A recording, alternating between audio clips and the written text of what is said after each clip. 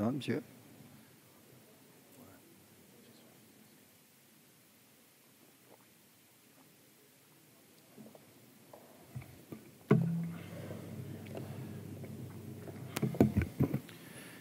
Monsieur le Président, Monsieur le Premier ministre, mes chers collègues, depuis le début du conflit syrien en 2011, on assiste à une hausse majeure du nombre de personnes forcées à fuir. La situation s'est dégradée sous nos yeux, mois après mois, année après année. 2014 a constitué le record du nombre de morts en Méditerranée, avec plus de 3500 personnes noyées. Depuis le début de l'année, la tragédie continue. Sur les 365 000 personnes ayant traversé la Méditerranée pour rejoindre les côtes européennes, au moins 2700 sont mortes lors du périple. La situation est dramatique. Désormais, le conflit en Syrie génère le plus important déplacement de population jamais enregistré à travers le monde. Le Haut Commissariat des Nations Unies pour les réfugiés dénombre ainsi plus de 4 millions de réfugiés syriens et 7,6 millions de déplacés à l'intérieur même de la Syrie depuis le mois de juillet. Chacun doit bien avoir à l'esprit que les enfants, les femmes et les hommes qui échouent sur nos plages ou se heurtent aux barbelés quittent leur pays parce qu'ils n'ont pas le choix. Nous non plus. Nous n'avons pas le choix. Il est de notre devoir de les aider. Il est de notre devoir de les accueillir. Il est du devoir de la France de se montrer fidèle à sa tradition de terre d'asile en Europe et de prendre toute sa part dans l'accueil des réfugiés. C'est cette volonté-là que nous devons avoir. Elle exige, elle exige, dans ce combat de l'ombre et de la lumière, d'échapper à ce qu'Aimé Césaire appelait la malédiction d'être la dupe de bonne foi d'une hypocrisie collective. Ce qu'Albert Camus décrivait dans L'homme révolté comme une auto-intoxication, la sécrétion en vase clos d'une impuissance prolongée. C'est une exigence morale au regard de l'histoire et des valeurs de notre République, mais c'est aussi une obligation juridique au regard du droit international. Rappelons d'abord, contrairement aux affirmations simplistes assénées par ces bâillonneurs de la pensée que sont le Front national et une partie de la droite, que l'Europe et la France ne sont pas les premières terres d'exil des réfugiés. La quasi-totalité des migrations actuelles ne se fait pas du sud vers le nord, mais du sud vers le sud, comme le souligne le dernier rapport du HCR, la répartition mondiale des réfugiés demeure fortement biaisée. Près de 90% des réfugiés se trouvent aujourd'hui dans des régions et des pays considérés comme économiquement moins développés. Le Proche-Orient et le Moyen-Orient concentrent à eux seuls un tiers des réfugiés dans le monde, 1,6 million en Turquie, 1,2 million au Liban. Dans ce contexte exceptionnel, en France, la demande d'asile reste stable. Avec 62 800 demandeurs d'asile en 2014, notre pays se place certes à la quatrième place du classement européen, derrière l'Allemagne, la Suède et l'Italie. Toutefois, rapporté à la population de chaque pays, la France se situe qu'au milieu du classement, avec seulement, avec seulement un demandeur d'asile pour 1000 habitants. Et la France a été la seule a enregistré en 2014 une baisse de sa demande d'asile, moins 5%.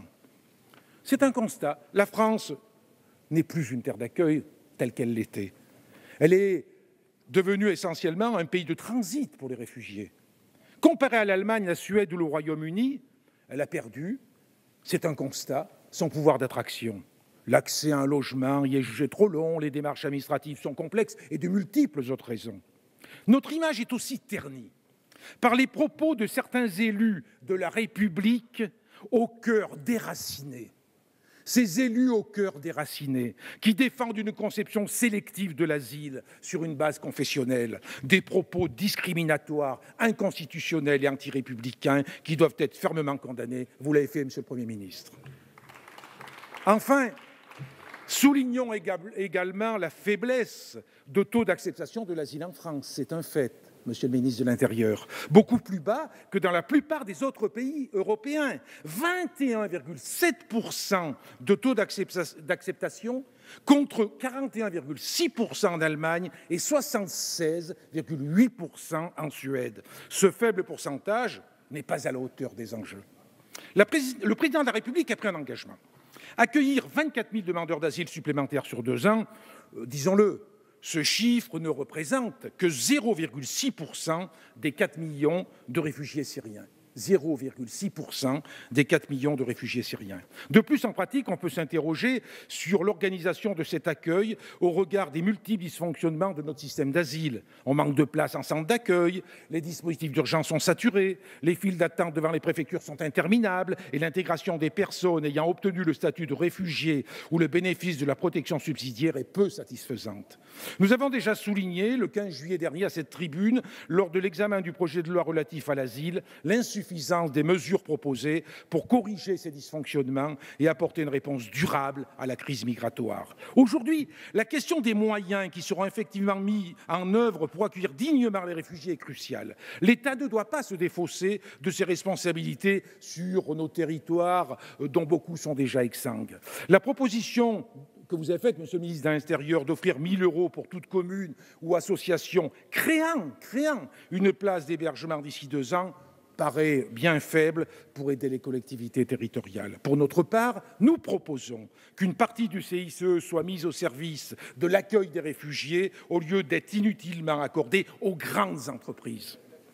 Face à la tragédie qui se joue aux portes de l'Europe, aucun pays ne peut répondre seul à la crise migratoire. La solution ne peut être que collective et globale. Les 28 États membres de l'Union européenne doivent agir de concert. Jusqu'à présent, l'Europe a failli trouver a, failli à trouver une réponse commune efficace à cette crise.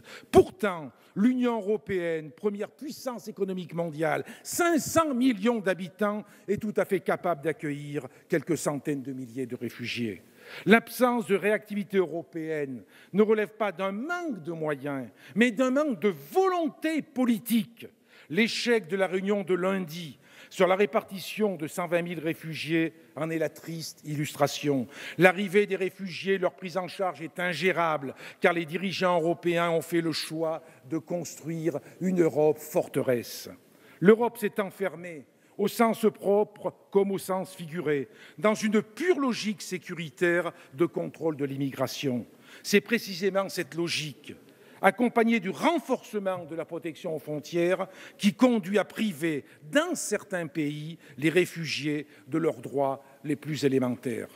Il est grand temps que l'Union européenne se montre à la hauteur des valeurs qu'elle proclame et de ses responsabilités. Il est grand temps de rallumer les étoiles, pour reprendre Guillaume Apollinaire.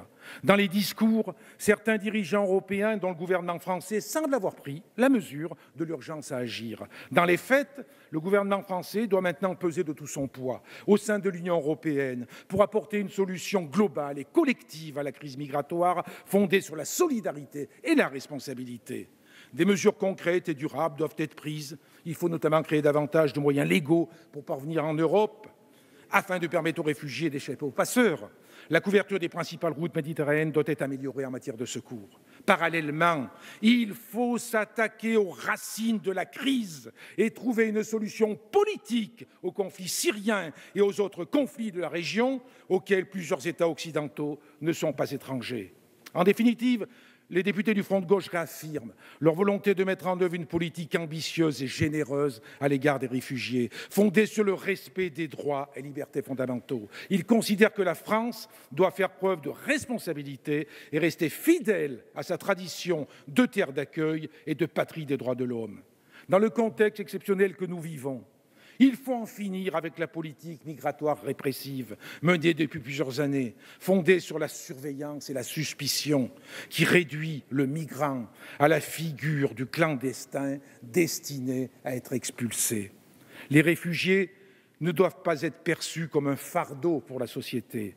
Gardons à l'esprit, gardons à l'esprit l'immense apport humain et matériel que la présence étrangère en France a déjà apporté à notre pays. Je conclurai mes propos avec une belle page de notre littérature. Joseph Joffo, Le sac de billes, l'histoire à la fois tragique et belle d'une famille juive d'Europe centrale, fuyant les pogroms à la fin du XIXe siècle. Et puis un jour, il franchissait une dernière frontière. Alors, le ciel s'éclairait et la cohorte découvrait une jolie plaine sous un soleil tiède.